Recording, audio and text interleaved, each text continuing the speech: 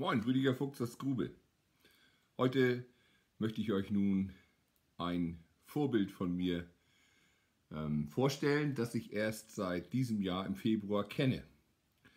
Sie heißt Immaculée Ilibagitza und ich habe sie zwischen 8000 anderen Menschen in Karlsruhe in der Messehalle kennengelernt.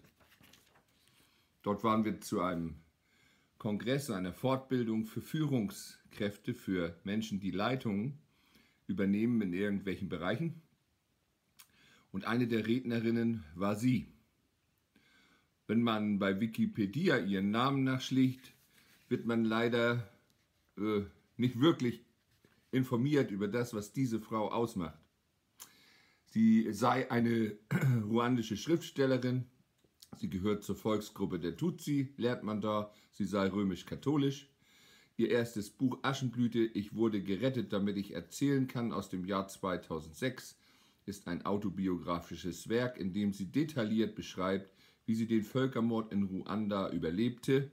Ich füge ein, sie ist bei einem Pastor äh, mit anderen Christen untergekommen, hat sich versteckt, während die Hutu ähm, unter anderem bis auf ihren älteren Bruder die ganze Familie und im Dorf sehr viele Menschen umbrachten. Dann heißt es nur noch kurz bei Wikipedia, weltweit verbreitet Immaculée ihre Botschaft und hält Reden über das Massaker. 2007 erhielt sie den Mahatma Gandhi Versöhnungs- und Friedenspreis. Mit anderen Worten, man erfährt überhaupt nichts von dem, was diese Frau ausmacht und wofür ihr Herz schlägt. Denn, was ist ihre Botschaft? Sie sprach vor 8000 Menschen in Deutschland und sagte, ich danke Gott, dass ich zum ersten Mal in Deutschland sein kann und in dieser Halle 8000 Menschen lieben kann. Meine Botschaft ist nämlich, dass ich Liebe verbreiten möchte auf der Welt. Wie kommt es dazu, dass eine junge Frau, die miterleben muss, wie fast ihre ganze Familie ausgelöscht wird, Liebe auf der ganzen Welt verbreiten möchte, was sie auch tut. Es kommt deswegen, weil sie Gottes Rettung und Behüten erfahren hat in ihrer Not.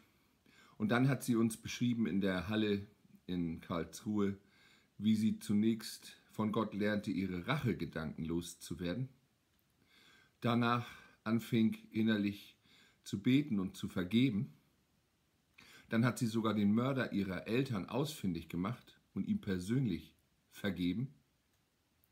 Und dann hat Gott ihr den Auftrag gegeben, auf der ganzen Welt zu ihm einzuladen und zu Vergebung und Liebe zu kommen im Leben, egal welchen Ärger man im Leben hat, welchen Kummer man durchmacht, was einem Menschen angetan hat.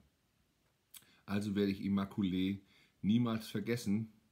Wenn du irgendeine Chance hast, sie mal persönlich zu hören, höre sie von ihr kommt wahre Liebe Gottes rüber und sie wird immer ein Vorbild sein für mich, wo ich dann sage, bei meinen kleinen Problemen und Streitigkeiten, die es mal so im Alltag gibt, oder bei dem, was mir Menschen hier und da vielleicht antun, da muss ich einfach vergeben, weil ich es von dieser Frau gelernt habe und erfahren habe und gespürt habe, was der Satz im Vater unser bedeutet. Vater, vergib uns unsere Schuld, wie auch wir vergeben unseren Schuldigern. Gott segne dich mit dieser Liebe und dieser Kraft, denn in unseren Tagen gehen so viele falsche Botschaften aus. Die Corona-Krise hat dazu geführt, dass die Misshandlung von Kindern stark angestiegen ist. Heute Morgen kam durch die Nachrichten, dass die Scheidungsrate sich um das verfünffacht hat in unserem Land durch die Corona-Krise. Vielleicht liegt es ja daran, dass in allen Häusern und Herzen Jesus mittlerweile ausgeschlossen wird, dass selbst in der Kirche kaum noch von ihm geredet wird. Denn er ist es, der im Herzen von Immaculée wohnt, wie sie sagt, und der sie mit der Macht der Liebe ausstattet. Ja, dazu segne dich Gott, dass du Jesus findest.